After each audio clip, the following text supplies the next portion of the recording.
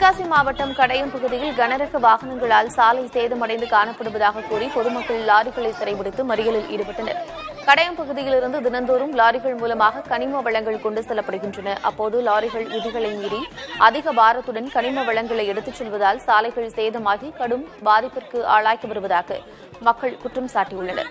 இதற்கு தீர்வு காண வலியுறுத்தி அந்த வழியாக சென்ற லாரிகளை சிறைப்பிடித்தனர் தகவல் அறிந்து சென்ற காவல்துறையினர் பேச்சுவார்த்தை நடத்தியதை அடுத்து போராட்டம் கைவிடப்பட்டது. முன்னதாக போராட்டம் காரணமாக அந்த பகுதியில் போக்குவரத்து பாதிக்கப்பட்டது.